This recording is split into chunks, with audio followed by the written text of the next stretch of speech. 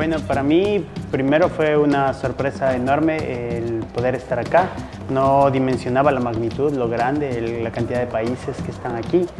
Y me gusta muchísimo eh, traer una muestra de cocina ecuatoriana como parte importante de nuestra cultura y de nuestro patrimonio.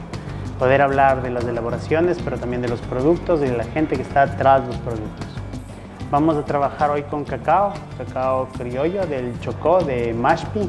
Eh, tenemos miel de cacao, tenemos nibs, también traje mm, amaranto negro y vamos a trabajar ceviches y vamos a hacer muchines también. Y por supuesto agradezco muchísimo al Ministerio de Cultura y Patrimonio. Tengo la suerte de saber que desde hace muchos años trabaja en el patrimonio inmaterial y que tuvieron un proyecto de patrimonio alimentario. Así que encantado de estar aquí y por esta oportunidad de mostrar nuestra cocina.